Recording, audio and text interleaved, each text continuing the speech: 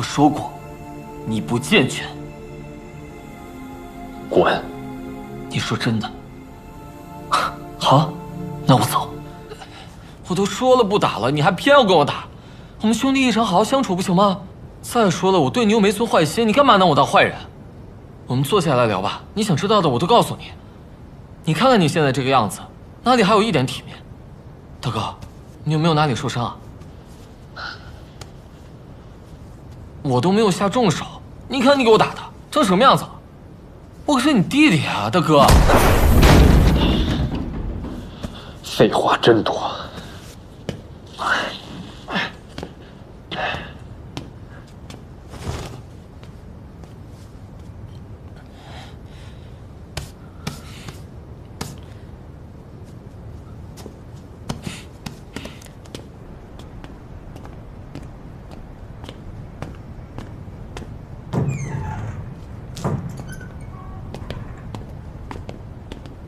莫先生，打完了，见笑了。看来没聊明白，到里面接着去聊吧。还有一点吃的。哎，莫先生，我们快饿死了。你们两个加起来好几百岁的人了，这么不稳重，添麻烦了。麻烦倒是不麻烦，就是。你们打碎的东西，我得赔钱。来吧，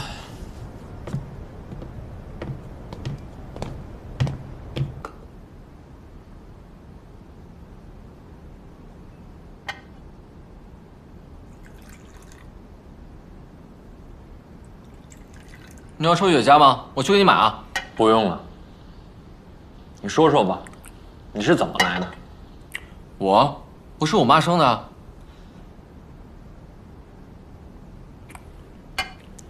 那年，沈家人要放火烧死我们母子，是因为什么？你还记得吗？因为你母亲也得了我这种病。孩子是无辜的，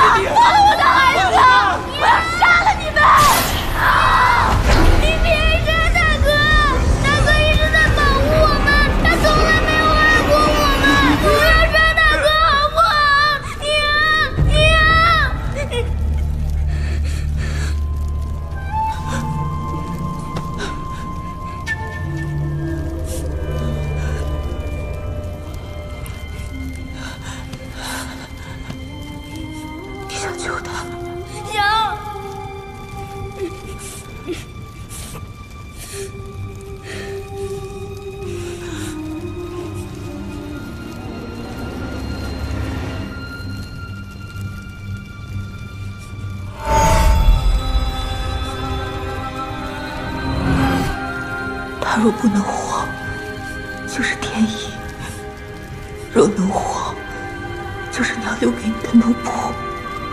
记住了吗？那是什么？啊？从你脖子上剪下来，治疗我伤口的东西。我不太清楚。从出生起，我娘就让我一直带着它。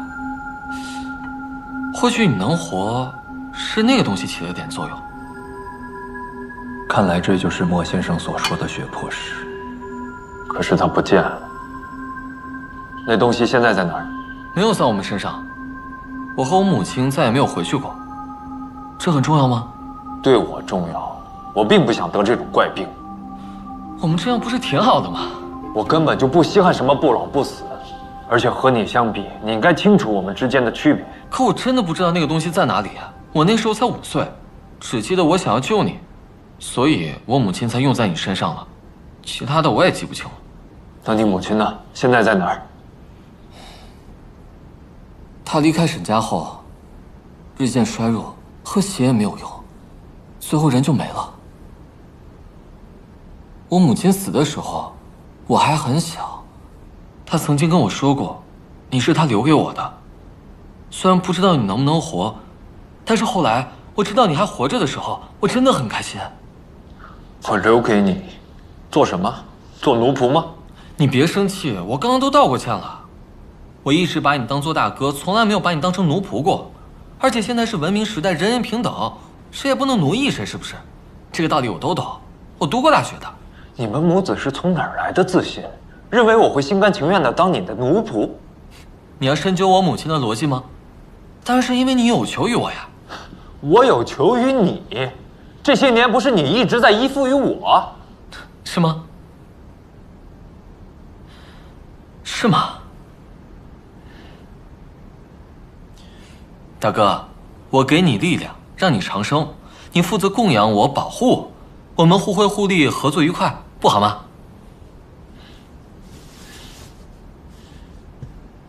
司徒威廉，我一直把你当最好的朋友，但你辜负了我的信任，我们的友谊到此为止。如果你一定要说我们的关系是所谓的合作关系，好，我告诉你，合作结束。我不是跟你说过吗？你离不开我，你需要我，而且会越来越需要。我说过，你不健全。滚！你说真的？好，那我走。